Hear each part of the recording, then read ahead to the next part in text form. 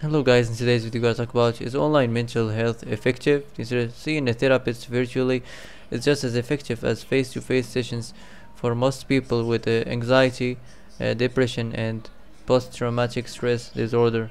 So that's for today. I hope this is the answer you've been looking for. If you like this video, don't forget to like and subscribe and see you in the next video.